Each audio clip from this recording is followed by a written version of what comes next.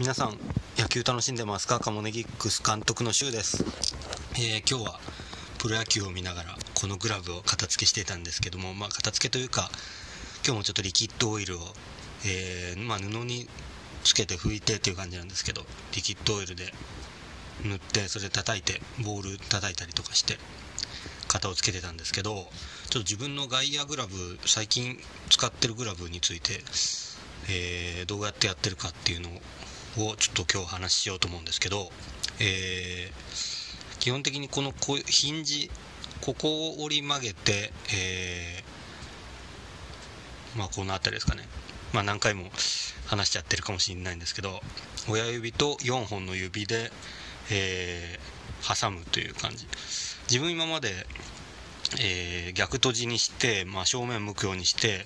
親指小指っていう形でやってたんですけど今はもうもろこういう感じで、えー、どうしてそういう風になったかっていうとここの奥にポケットも正面入って奥にポケットが欲しいんですけど、えー、自分結構グラブをちょっとよ完全に縦にしてフライをつかむというよりもちょっと横にしまして手首の自然な角度ぐらいの横にする取り方なんで、え、その方が取りやすいんでここにボールが来た時にこの4本の指がしっかり挟んでで正面でさらに奥になってるんでボールが落ちないっていう風な感じでやってまして、え、フライを取った時に親指がちょっと下側でわかるかな？支える感じに引っかかるような感じ。ボールが抜けようとするボールが親指で引っかかるようなイメージ。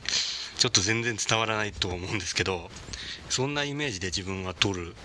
し片付けをした方が自然にちょっとフライが取れるんであんまり肘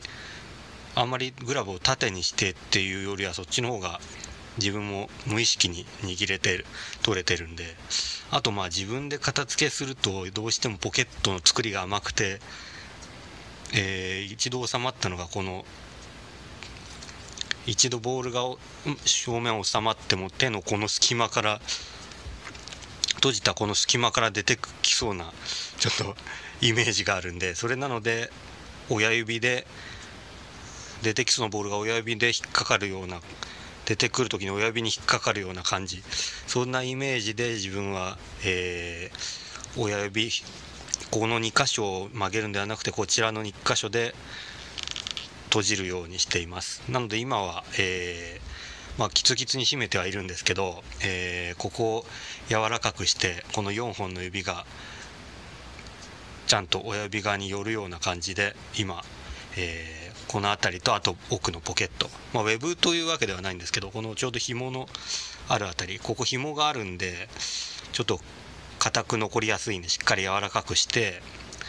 まあ、この辺はあんまり使う気はないんで ここをしっかり曲がるようにとこの奥を柔らかくするような感じでやっています。もし皆さん外野用グラブ片付けしてる方はどんな感じで自分はやってるっていうのをもし教えていただけたら幸いです、えー、チャンネル登録 Twitter フォローぜひよろしくお願いします。